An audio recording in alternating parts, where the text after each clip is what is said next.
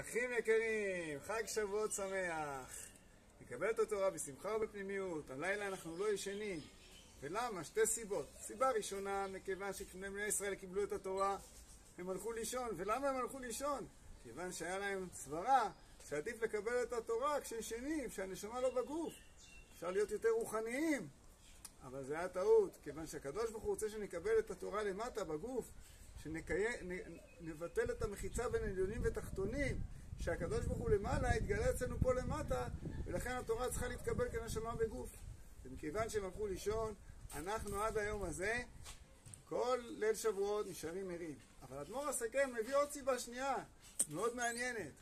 כיוון שבחג שבועות מאיר הגאולה, אור הגאולה, לכן אנחנו מבחינת לילה כיום יאיר, כמו בגאולה, שיהיה רק אור, והכל יאיר תמיד, אז ככה גם אנחנו בלילה הזה, ליל שבועות, נשארים ערים, כי האור מאיר גם כל הלילה הזה.